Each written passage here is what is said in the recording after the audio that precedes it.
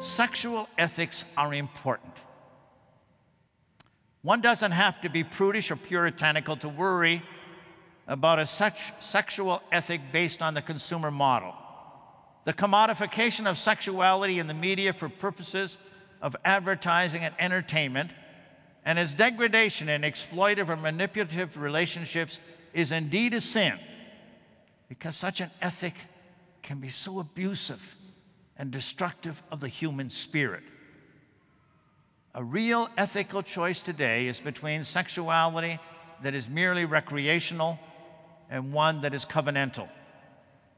Sexuality is meant to be enormously enjoyable and fulfilling, but because of how fragmenting or integrating sexual intimacy can be for human beings, the context of the relationship, the commitment, or the lack of commitment carry obvious significance.